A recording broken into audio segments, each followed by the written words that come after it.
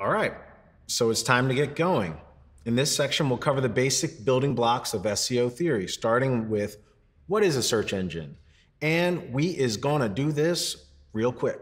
So, what is a search engine and how do they work? Well, simply put, it's any website, software, tool, or program that allows you to easily search a database of information. Take the classic example Google. You, as a user, go to Google's website, enter in your keywords, and it spits out a list of websites for you to check out. Say you're looking for the best plumbers in Atlanta, and you go to Google, type in those keywords, also known as a search query, and out comes a list of websites on a page known as a search engine results page, or SERP. You could also do the same thing with Bing or Ask Jeeves or AltaVista if you're old enough to remember that one. There's also international examples such as Baidu from China or Yandex from Russia. With all of these examples, you put in your search query and they return a list of websites to check out. But there are other types of search engines. YouTube, for example, is the second most widely used search engine in the world, and it searches for video clips.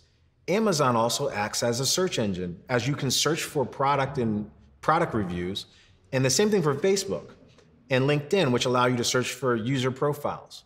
Whether you as a user are looking for websites or products or something else, a search engine is just a tool that helps you find what you're looking for. Now, it's time to talk about the guts of a search engine, the search algorithm. Search engines has to determine which websites or products or assets to rank first, which to rank last, and which to not rank at all.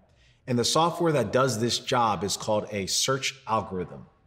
Whether it's Bing, Google, Amazon, Facebook, every search engine has a different search algorithm and thus will show you a different set of results. Try searching for pharmacies in Google versus pharmacies on Facebook. You'll get a very different set of results. And that's also true if you search for pharmacies in Google versus Bing. Each of these companies have a different algorithm that's at work determining the rank of their results. So, what is Google's ranking factors? Now, for the rest of this lesson, we are going to focus specifically on Google. And the first thing to mention is that Google's algorithm measures many, many, many different things about your website to determine its rank. These things are called ranking factors. Of course, Google does not publish these factors, and they won't tell you how they're weighted or anything like that. But there's been a number of determined marketers who surveyed other SEOs and got their observations down.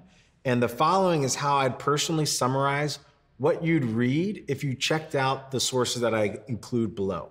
Google's ranking factors are split into three different categories technical ranking factors, content ranking factors, and link ranking factors. Technical ranking factors are further split between crawl ranking factors, or how easy is it for Google to discover your most important URLs, index ranking factors, or how easy is it for Google to understand or parse information of your page. And then rank ranking factors, which is a combination of engagement related metrics such as bounce rate, click through rate, and page speed. And the job of doing what's called a technical SEO work is to remove as many of these roadblocks to rankings as possible. Next, there's content ranking factors, which are also split up into three different categories as well. First, there's relevance, which is how relevant is your content to the user's search query. Next, there's uniqueness, which is how unique is your content versus everything else that's available out there online. Is this a rehash of something someone has already created, or is this something new and fresh? And then finally, there's depth, or how well do you cover a topic compared to other websites that cover the same topic? Finally, there's link related ranking factors, which is really important because Google was the first link related search engine. So just like content, first is relevance is very important. How do the sites linking to your site relate to the keywords you want to rank for? Or how well do the, does the anchor text or the text that is hyperlinked in the link related to the keywords you want to rank for. Then there's popularity or how many sites are linking to you. You can think of it like this every link counts as a vote. So if you have a lot of links, you have a lot of votes. And finally, there's authority or how powerful are the sites that are linking to you and mentioning you.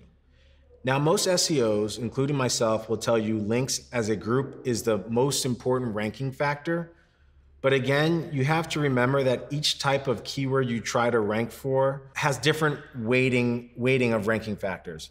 And how important the links are to you depends on the competition of your SERP. So in this course, we teach a very balanced approach, which is try your best to address as many ranking factors as possible in your campaign and do it in the most earnest manner. Now that you have an understanding of what is a search engine, how they rank results, and how particularly Google's algorithm works, it's time to jump into the next section and talk about the work, which is what SEOs do on a day to day basis.